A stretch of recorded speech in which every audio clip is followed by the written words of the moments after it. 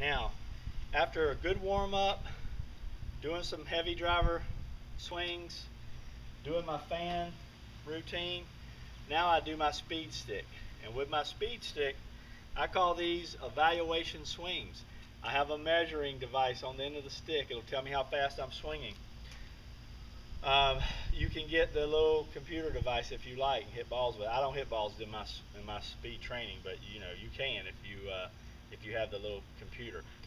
Um, and all I do is I, I take just five swings, just nice and easy. Then I tap down the measuring device, and then I take five swings, just as hard as I can, within reason. I don't I don't want you to hurt yourself, but within reason, I just give it a go, and I just measure each one. That was 110, nice and easy.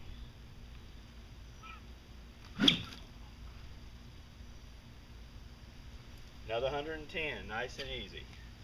So, after I do five of those, then I then I go back to my light club, and I'm gonna stop right here and get that light club.